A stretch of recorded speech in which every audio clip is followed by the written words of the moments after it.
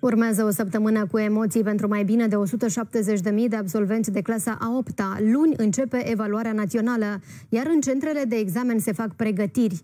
Pentru cei care nu pot susține testele din motive medicale, va fi organizată o sesiune specială.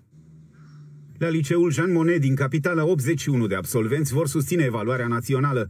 Luni, la prima oră, copiii vor găsi trasee prestabilite pentru a ajunge în sălile de examen.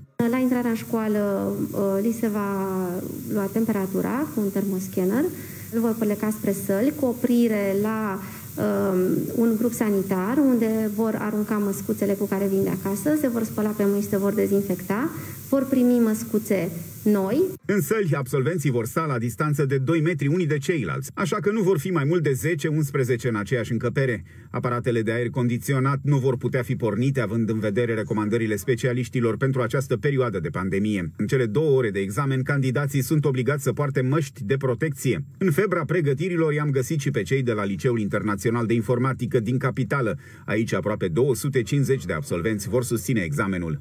Sunt montate dispensere cu substanța potrivită în fiecare sală de clasă la intrarea în școală.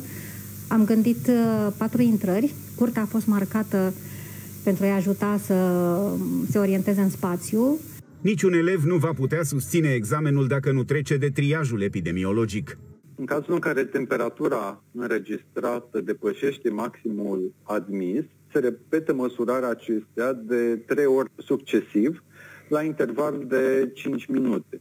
Avocatul poporului recomandă Ministerelor Educației și Sănătății să asigure accesul elevilor la examene naționale în condiții egale și consideră că interzicerea participării celor care au temperatura peste 37,3 are ca efect încălcarea dreptului la educație.